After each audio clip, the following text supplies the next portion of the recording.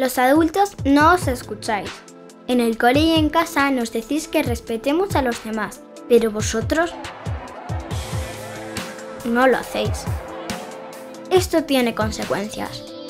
En España, uno de cada cinco niños y niñas ya sufrimos violencia y el suicidio es la primera causa de muerte entre los jóvenes.